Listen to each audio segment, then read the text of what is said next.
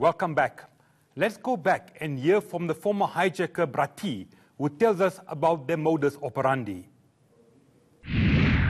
What happens to the vehicles that you hijack? Where does it go to from there? The Ford Rangers and the Mercedes Benz, they jump the border.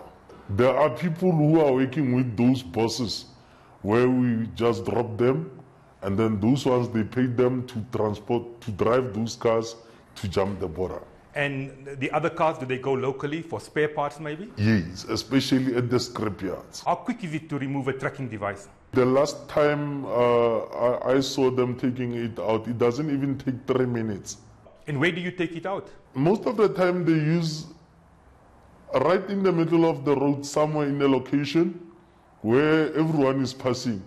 It will be like uh, they're fixing a car. But if you are, if you can think normally, if you, if you are okay in your mind, you will see that how can people start with the Ford Ranger, a new Ford Ranger?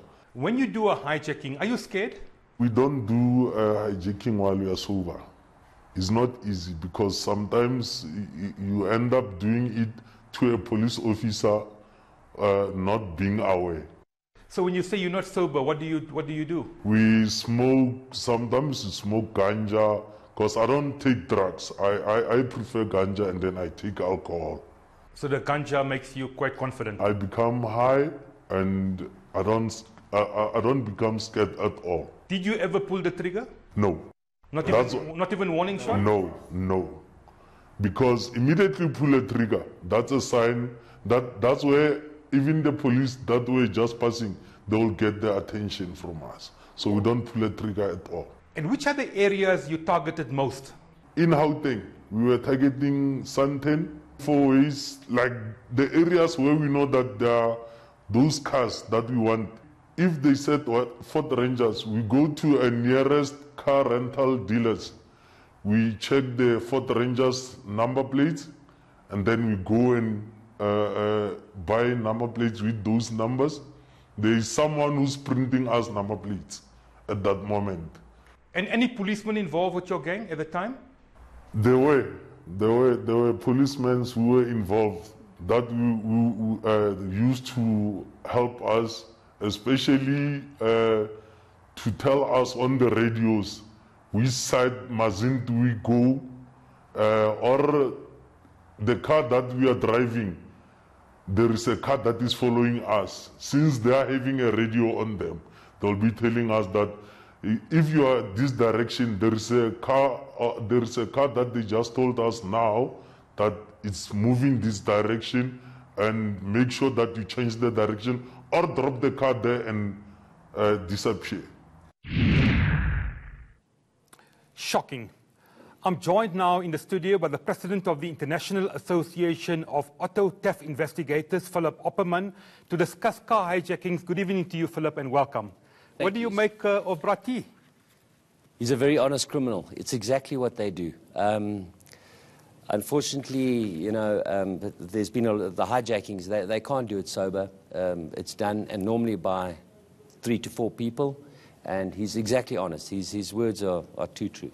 I mentioned earlier an average of 45 hijackings each and every day in South Africa. 16,000 and some odd official crime stats. We have a crisis. Correct. No, it is a crime. And what are we doing about this crisis? Well, there's a lot of initiatives happening at the moment, and uh, I could just mention the IAATI initiative, which we got a IPPP, we've got a, a public-private partnership with our with uh, law enforcement, with uh, private entities. Uh, we, do, we get involved with uh, cross-border activities, um, been very successful. But Phillip, with, with the high crime stats we have, these partnerships are not being effective.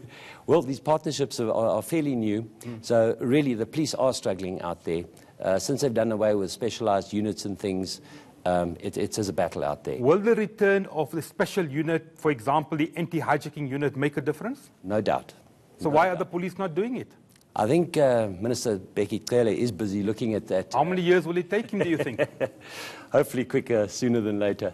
Let's get to the nitty-gritty. Yes. Which are the most popular cars being hijacked? Hijackings, there's two categories. You've got the, um, uh, your, your uh, commercial vehicles, which is hijacked for the load.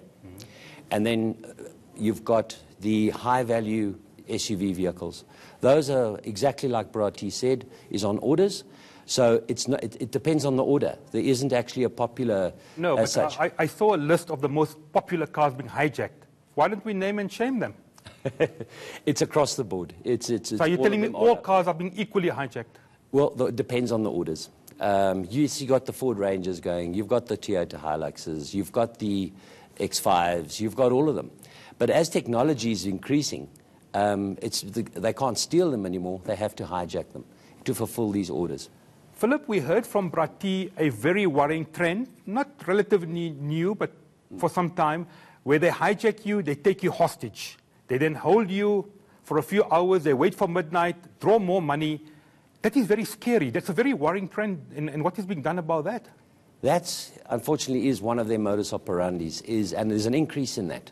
And not only is it uh, just holding them, uh, uh, women are raped, men are badly beaten. Um, it's, it's a crisis. And uh, what it is, is it started with, while trying to uninstall the hijacking device, uh, they've got an opportunity. So they find uh, cards, and it's like he says, additional revenue. It's a bonus. He spoke how easily it is to remove a tracking device under three minutes, openly in some of the areas. What's the alternative? Are these tracking devices even effective? Tracking devices are effective, and if you look, hijacked vehicles uh, are track with a tracking device, 87% of them are recovered because it happens immediately. There's a, a, a quick response to it, and they are recovered. 87% of those vehicles are recovered. Well, uh, on the line we have Takalani from Tembisa. Good evening to you, Takalani. What's your question or your comment? Um, good evening. How are you? Very well, thank you. Your question or comment, please.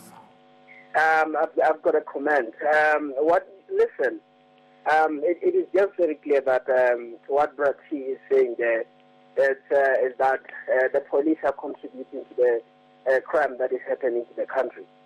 So, you know, these criminals, they can just go out there and target people for no reason.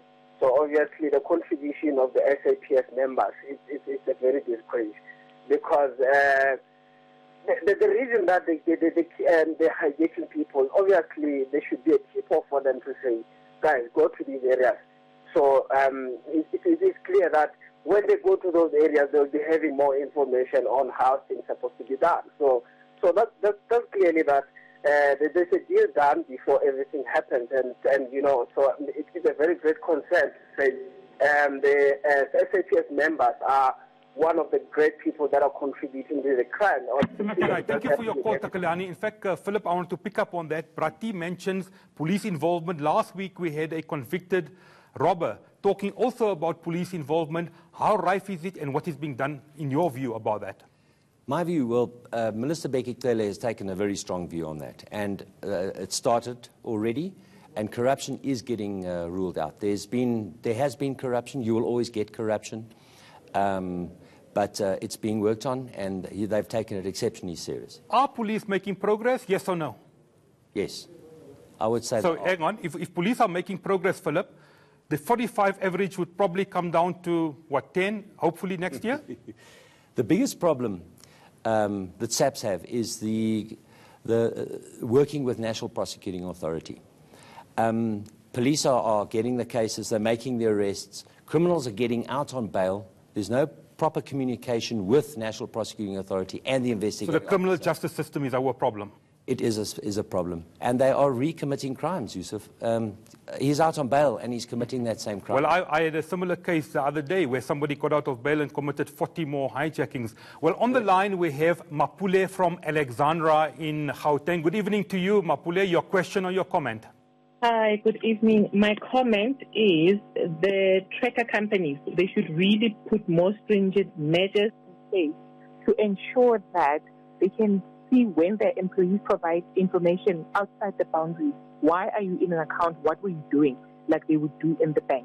They should start doing that because they work hand in hand with the criminals where you find that where would the criminals know where the coordinates are?